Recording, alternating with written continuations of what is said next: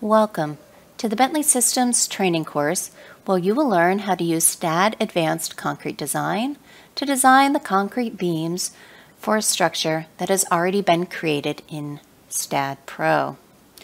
Now before creating, now before performing the design in STAAD Advanced Concrete Design, we need to go ahead and take a look at the loading information. To start that process, let's go to the Settings menu bar option and select the basic load cases.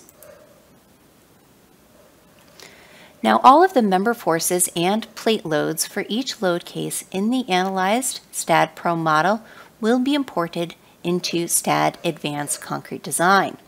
Once in this program, you can specify the type of load for each load case.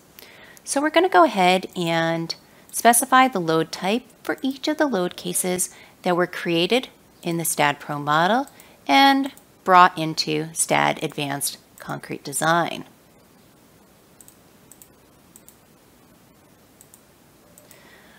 Once we're done entering the load types, we're going to select all of the load cases and move them over to the selected area. This will let the program know that you intend to use these particular load cases for the design of the concrete beam. You're also going to get enter the category of your lateral loads for both earthquake loads and wind loads if applicable. This will give the program information on how to generate the load combinations.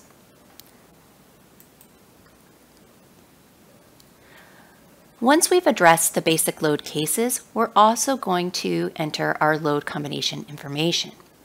Now you can add your load combinations from your analysis file if you already created your concrete design load combinations that would be appropriate, or you can generate them directly within STAAD Advanced Concrete Design using the load cases from the analysis file. We're going to go ahead and generate our load combinations directly in STAAD Advanced Concrete Design for regular structures. We'll be able to review all of those load combinations and then we'll go ahead and click OK. Now one thing I want to discuss before we leave the topic of loading. For this particular model, we decided to group our concrete beams vertically across a series of typical levels. And we can see that the level at y equals 12 feet, 24 feet, and 36 feet were brought over from the STAAD Pro model and these levels are typical and geometrically identical. Now, when the program goes ahead and performs the design, the design force envelope will be computed for each section, across each level, and across multiple load combinations.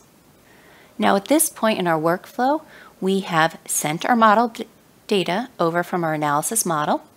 We have entered all of our settings and addressed our load cases and combinations. We are now ready to perform a design in STAAD Advanced Concrete Design.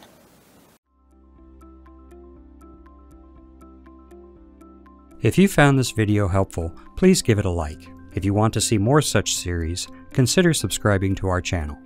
Thank you and see you next time.